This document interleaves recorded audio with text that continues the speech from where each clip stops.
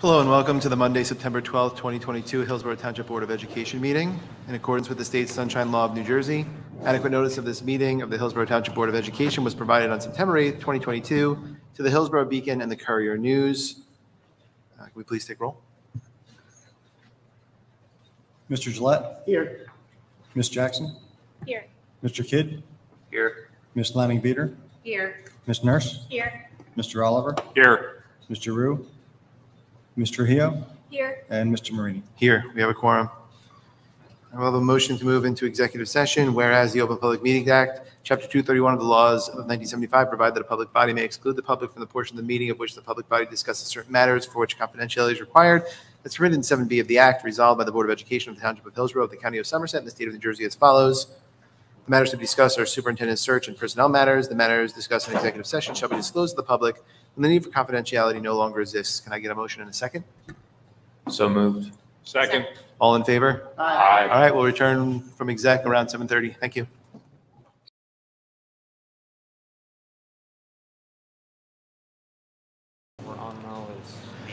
Hello and welcome back to the Monday, September 12th, 2022 Hillsborough Township Board of Education meeting.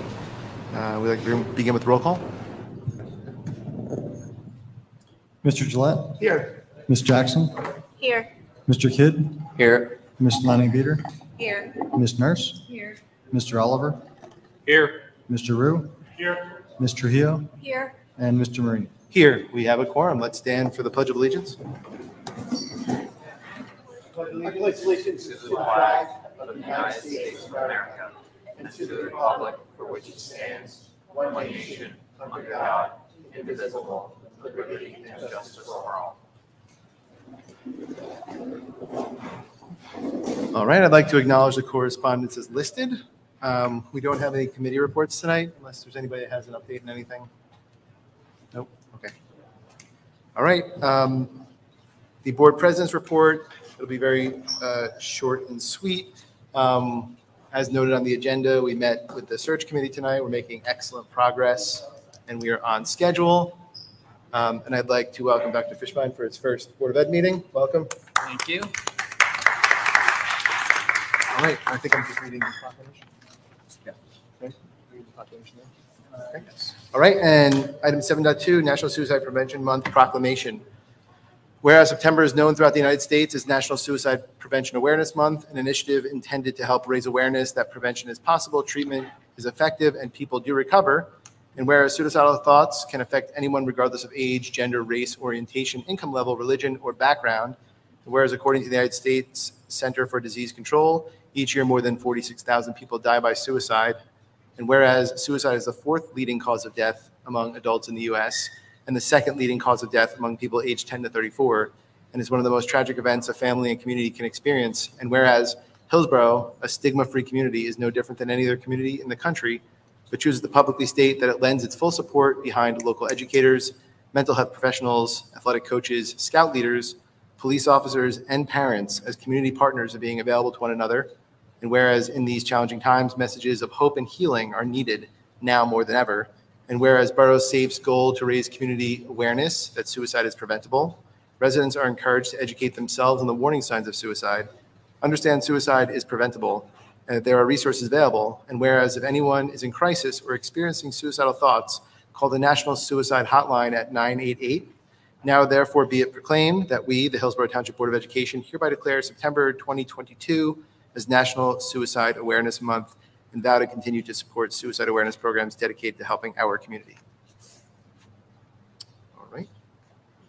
And we will now move on to the interim superintendent's report. Good evening and welcome to the uh, new school year. Um, It's a pleasure to introduce myself. I'm Dan Fishbein. I'm going to be the interim uh, superintendent of schools until this uh, board appoints a permanent superintendent. Uh, It's been an exciting uh, time to visit our schools over the last two weeks and uh, be part of an opening that's a little bit more typical um, this year than it has been for the last few years. Um, There's nothing like the sound of, of students um, in school, filling the hallways, um, outside on the playgrounds. Um, enjoying themselves, laughing, and being excited about being in school. So our teachers and administrators have once again made their schools uh, safe, happy, and wonderful places to learn and grow. Uh, Just a reminder, uh, in accordance with the new HIB legislation that that passed on June 13th, 2022, um, revisions to our policy 5512, harassment, intimidation, and bullying, were approved by the Board of Education. Um, There have been significant changes in the new law, and uh, Ms. uh, Smedley, Director of Counseling and District Anti-Bullying Specialist, has been working to update our process and forms. On October 10th, the Board of Education um, is going to receive some training at 6:30. Okay, I think um, there was a a mistake last meeting. They said 10:30. I don't stay up that late. Um, And uh, David Nash, um, an attorney um, and director for legal education and national outreach for the Foundation of Education Administration, will provide the board training on the updated law and policy. Some teacher recognition. I'd like to recognize uh, Hillsborough Middle School literacy teacher, Mr. uh, Ian Evans, who has been chosen as the Somerset County Teacher of the Year. Mr. Evans was chosen for this award after being selected as Hillsborough Middle School Teacher of the Year last year. At a recent award ceremony, Mr. Evans was recognized for his reflective practice, thorough thoughtfulness, willingness to listen and, and be creative. Um, Thank you, Mr. Evans, for all you do for your students each and every day.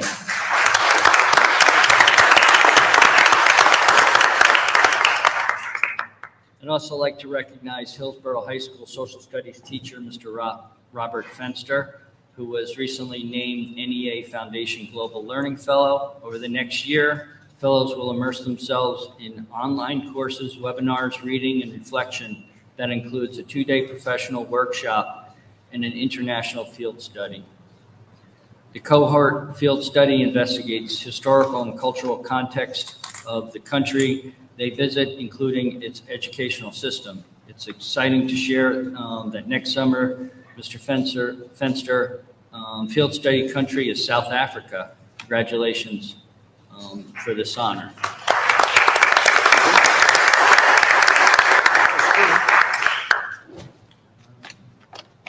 Where is slideshow? Um, Every year, I like to give a little snapshot of, of where we are um, and a little bit of uh, where we were. So I'm not going to go through all the numbers, but you can see on the screen behind me uh, where we are as far as enrollment is concerned. Um, One, one area to note um, is uh, Woods Road Elementary. You see the asterisk there. So um, that is a program for three and four-year-olds, and those students age in, you know, uh, at three and four. So if they become uh, uh, three and, and need the services, um, they'll go to the programs um, if they've identified to need those services. And that, that um, program grows as the school year goes. Um, The enrollment for that is very different than like kindergarten. Um, A lot of work went into um, revising and developing new courses in the area of, of curriculum. Um, I Thank Kim for all their hard work and all the supervisors who did that. Um, So um, there's, there's quite a bit that went on uh, this summer.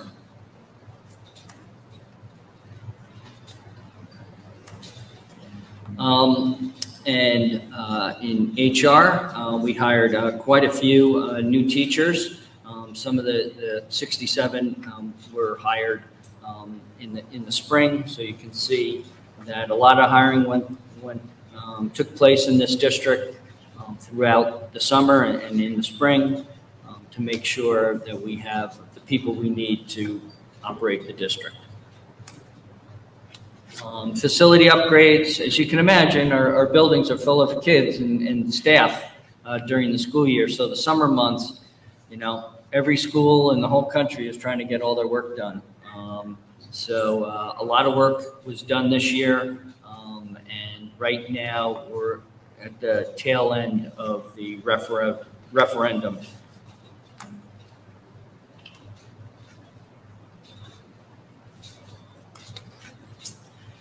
Uh, as far as IT is concerned, um, a little bit different than uh, construction, but a lot of the work that takes place um, uh, as far as our IT department is concerned is done uh, during the summer, especially when you look at um, intercom emergency alert, digital hallway speakers, you know, all that was done uh, um, in the spring and and during the summer. So I uh, appreciate all the work that was done, all the administrators and uh, staff members who worked to make sure that our buildings are ready. Um, You can see by the shine on the floor that our custodians worked real hard. Um, And uh, in a few months, because of all the little feet, the shine will be a little bit duller. um, But that only means that it's because it's being used uh, for the right purposes. That's all I have. Thank you, Dr. All right, now we'll move on to approval of minutes, um, 9.1 through 9.4. Uh, Motion to approve executive session minutes, 8.22.22. Motion to approve public minutes, 8.22.22. Motion to approve public minutes, 8.24.22. And motion to approve executive session minutes, 8.24.22. Can I get a motion in a second? Second. Uh, Any discussion by the board? All right, do roll. We roll. And a- any abstentions before we do all in favor? Nope. All right, all, all in favor? Aye. Okay. All right. So we'll move on to comments from the board public. We very much welcome input from the public. During board meetings, there'll be two 30-minute periods of time. The meeting will be open to public comment, where members of the public are invited to comment, which they may do if they are attending in person. During the first public comment period, members of the public may comment about items that are listed on tonight's agenda before the board votes. During the second public comment period, members of the public may comment on any school or school district issue that a member of the public feels may be of concern to the residents of the school district as per bylaw 0167. Before you state your comment, you'll be asked to provide your name and address. There's a three-minute limit on public comment. Please understand that our public forums are not structured as question and answer sessions, but rather offered as opportunities to share your thoughts with the board. In instances where the board believes there's a misunderstanding or inaccuracy, the board president or superintendent will address the comment. There may be times when a member of the public makes a comment or asks a question about personnel or hiring decisions. Kindly note that the Open Public Meetings Act, the privacy rights of public employees encompassed therein do not permit the board to discuss personnel issues in public session. Uh, If anybody has any uh, comments they would like to make, please address the action item agenda number. And we're going to do our best to hold to the three minutes here. I know we've been getting a little loose with that in recent weeks. Reverend Rod Williams, 101 Everett Close. Uh, Welcome, Dr. Fishbein, glad to have you in the mix. Um, You mentioned the hiring stats on the new teachers there, and so um, I'm wondering if there- we know anything about the diversity breakdown in terms of those numbers, and if there are plans to focus on the need to make the staff more diverse, especially since the school district itself has become more diverse in terms of student population. Thank you. Thank you.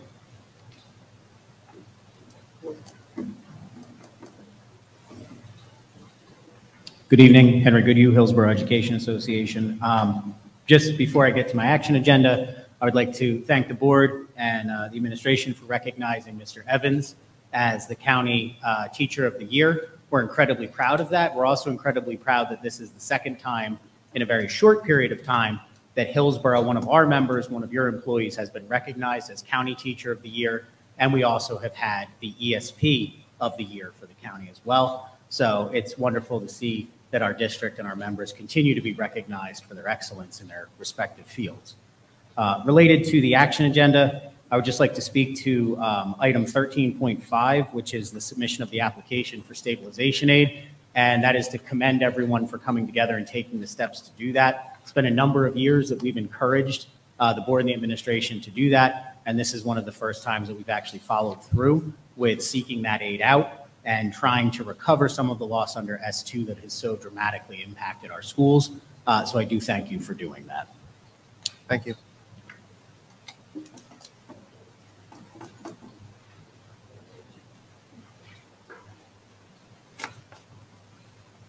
Good evening, Stefania Lockwoods, Millstone River Road. Sorry, I have a broken toe. Um, I'm speaking regarding 12.2, uh, retirements and resignations.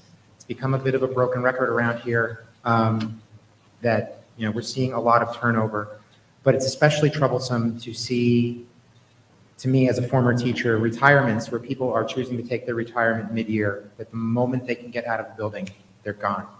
Um, Every single teacher that I worked with when I was teaching who retired waited until the end of the year um, because of the stability that it provides to their students and the investment that they have in their careers, at- even at the end. Um, And that's really troubling, and it's, it speaks to me um, that we still have a lot of work to do on culture um, and, and retention, because we can't even get people to, to wait out a few more months. Um, It's also especially troublesome to see people who, um, in the resignations, again, from my experience, seem to have found a greener pasture late in the summer, despite this year's drought, um, and are leaving our district with significant vacancies um, at, in the mid-year. Again, it's not something that I ever saw happen in a district that was thriving uh, in terms of culture for its, for its staff. So this is, this is troubling, and I hope that the board has, as part of its, excuse me, as part of its hiring process for the new superintendent, taken this into consideration, the importance of developing culture, because the evidence continues to pile up in front of us, just how unappealing Hillsborough can be to some of our staff members, and that's, that's a shame, it really is, because we do have great staff members, um, and it'd be really nice to retain them and have them be here for, for their career. I actually, um, just as a little, I got an email from someone in HR at work, and I'd never seen this before, um, and their signature included hire to retire, which is corny, but it's a neat, powerful little cliche, hire to retire, and I I think that we should take that to heart here. Thank you. Thank you.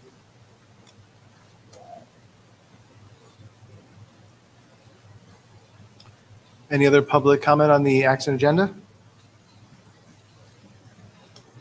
All right, we'll move forward with the action agenda. I'd like to, I'd like to present for consideration 11.1, um, professional travel-related expenses. Um, 11.2, stipend for after-school language extended exploration program, LEAP. 11.3, um, concurrent enrollment courses and stipends for the 22, 2022, 2023 school year.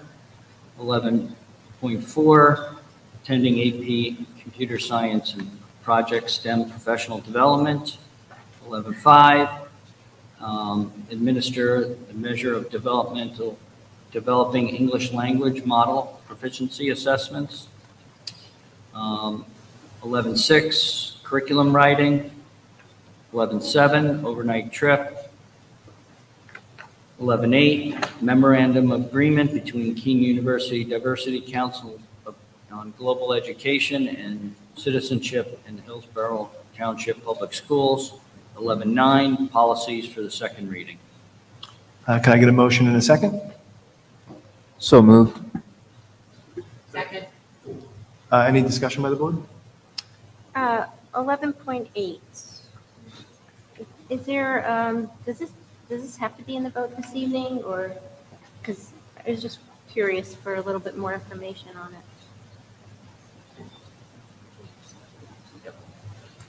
it. So this is a partnership with Kean so that our um, staff can take graduate courses through Kean University, and they take them as a cohort here on campus. Okay. Any other comments or questions from the board? Uh, Seeing none, we'll take roll.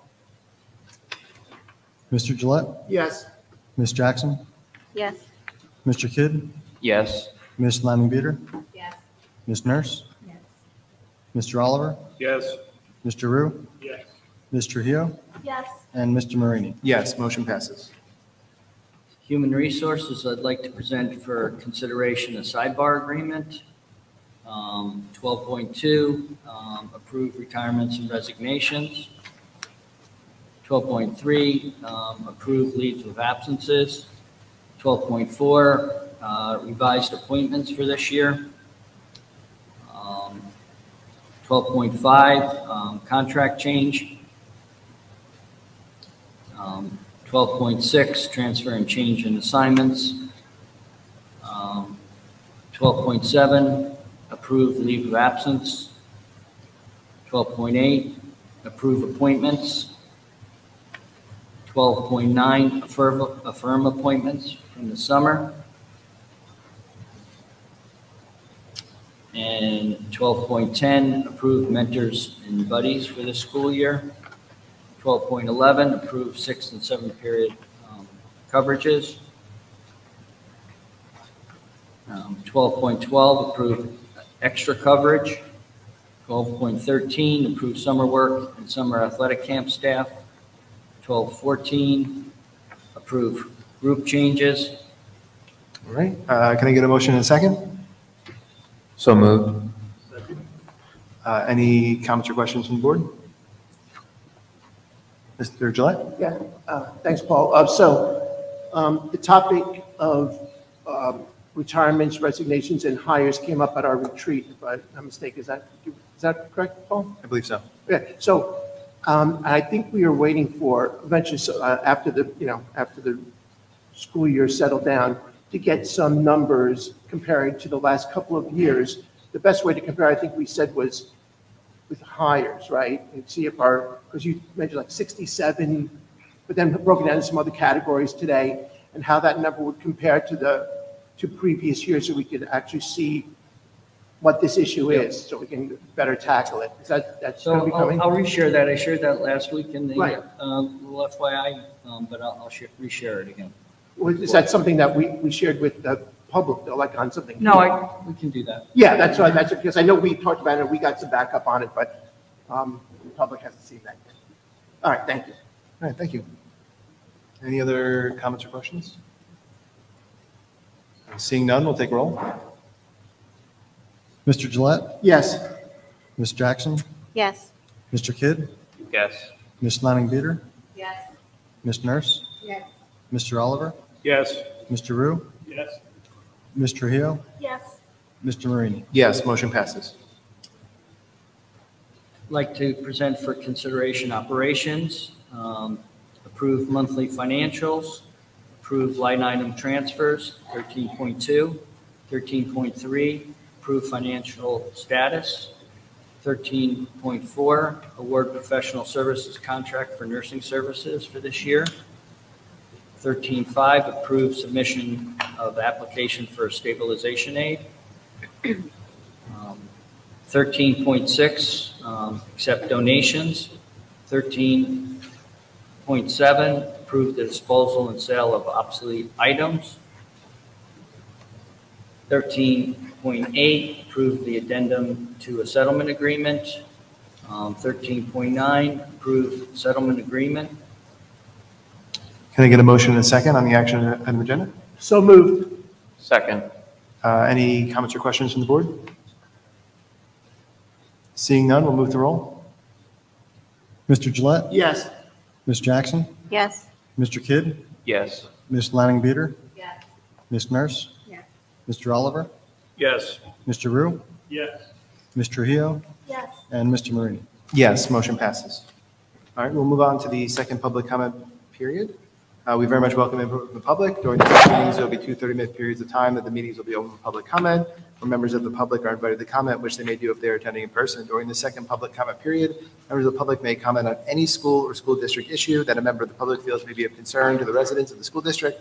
As per by- bylaw 0167, before you state your comment, you will be asked to provide your name and address. The Three-minute period limit on public comment. Please understand that our public forums are not structured as question and answer sessions, but rather are offered as opportunities to share your thoughts with the board.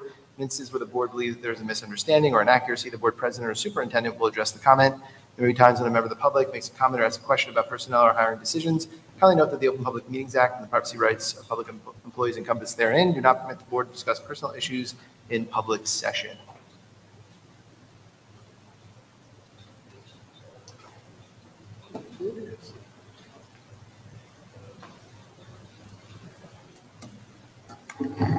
Hi, Jane Stats, 101 Devonshire Court, Hillsborough. Uh, Welcome, Dr. Fishbein. Um, I feel like uh, I'd like to applaud the uh, collaborative efforts on the part of the board, administration, HEA, and our state legislators that led to the million dollars that the district recently received from the state. I feel like a relative of someone who just won the lottery because I'm here to ask you to use some of that found money for a specific worthy cause.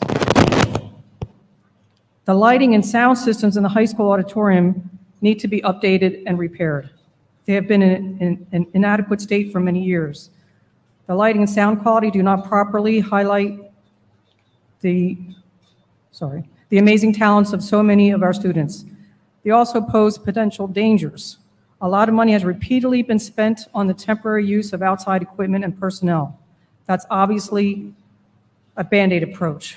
The auditorium is used not only for many student performances, but also for staff meetings and community events. The district has upgraded many other components of our facilities. Upgrading the sound and lighting systems would be an equitable use of these additional funds. I mean, that, I mean, I crafted that carefully, um, probably a little cold and antiseptic, but are- are- if anyone has ever seen any of the musicals or plays at the high school, they are fantastic. I mean, they rival professional performances.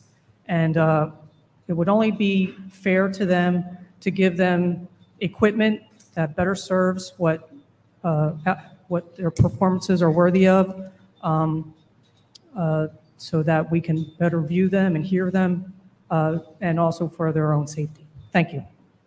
Thank you. Not not a bad idea. Yeah.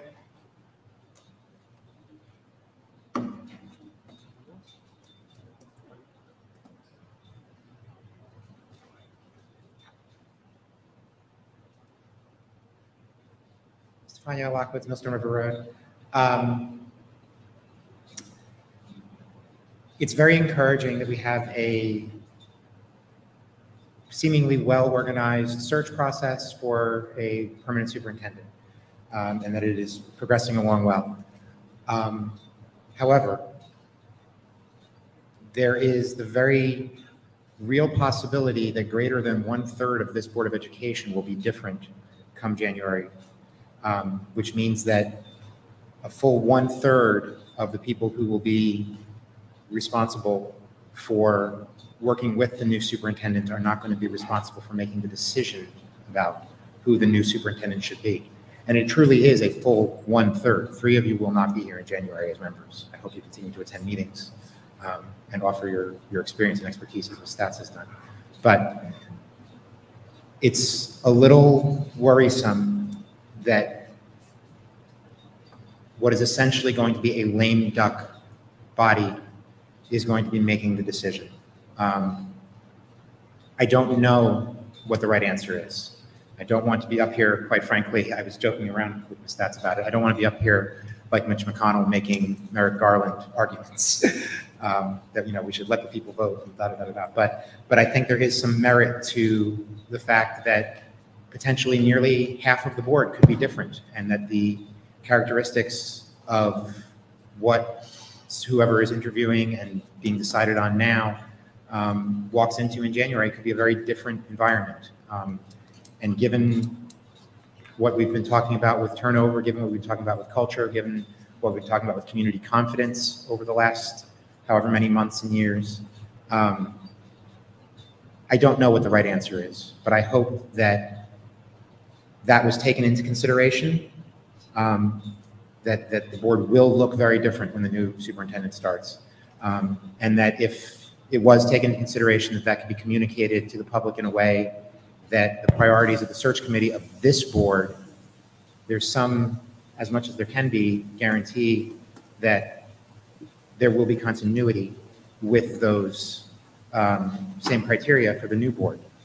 Um, I don't know. I don't know what the right answer is. I, I wish I, I wish I could, like I said, I wish I could come up here and say, we should wait till January, gosh darn it.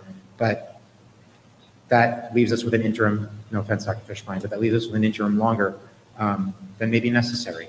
So if there's any communication the board could do on how that's been presented internally with the search committee, with the search organization, um, maybe some of the pros and cons that were reviewed with the, the search uh, firm on waiting versus doing it sooner.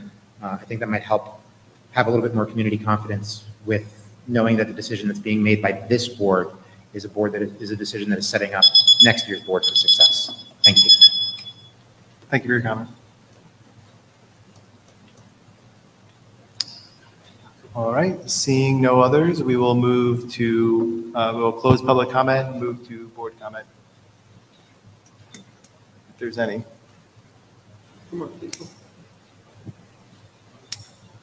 I'll make one comment. Um, Obviously, the, this search is very confidential, so we can't share much. But I can say that, you know, we we're whittling down our, our search right now. And I think everybody was unhappy with some part of it, which means that everyone has a diverse slate of candidates. And the candidates are in fact diverse in all ways that you could imagine. And I think uh, we're going to come out of this with a very, very strong superintendent, regardless of who we pick at this point. So, um, you know, we're considering all, all of those concerns as we move forward. Obviously, with the, with the confidentiality, and that was part of the agreement with almost everybody that they didn't want their name shared or any information about where they work, et cetera, et cetera. So that's about all I can share with that. But we are, we are moving forward. Mr. Gillette. Well, I thought it one. Um, We did have at least one, maybe a couple of emails recently about um, athletic fees. And I comment on this probably once a year since we started collecting athletic fees about three years ago. I'm not really sure how many years now, about three. Um, And, and uh, the questions usually are about, um, can we, can we segregate the money collected from athletic fees and segregate, make sure that they go just to athletics? Well, you, in, you can't do that. There's no separate account that that can be collected into. But I just want to reassure the public that the money collected from athletic fees, it only amounts in the aggregate to about 10 to 15% of the entire athletic budget. So it's, it's really, you can, you can, you can, you can, even if you could put it separately, it wouldn't, it doesn't really make that, it would, it doesn't, it doesn't do what you think it's doing. Um, that money is not being siphoned off for anything else, believe me. If we collect, you know, $150,000, there's another $850,000 put in by the district. It's more than that, all, all around. But, you know, um, you know, that's what it is. Now, having said that, we still need to keep collecting those fees because those, now, now that we've started it, as, and maybe, I, you know, I was in favor of collecting the fees, and I would like to see them go away in the future, obviously. That's my philosophical position on it. But in the short term now, that's $150,000 is, is two teachers every year. And, and you, and you have to continue that until there's another source of funding, maybe down the line, an increase in state aid one of these years, an increase, not a decrease, an increase, which then, even if you don't get another increase the next year, you've still got that increase built in. So then you've got it every year. If you got a million dollar increase, then you could think about doing things like um, uh, getting rid of the athletic fees and um, returning more courtesy busing to the district, things like that. But until we see a big increase in some other funding source, I'm very, you know, disappointed to have to report that those are- fees are going to have to remain the way they are now for the foreseeable future. That's all I want to say on that. That's my report for this year. Probably my last one ever. Any other comments from the board?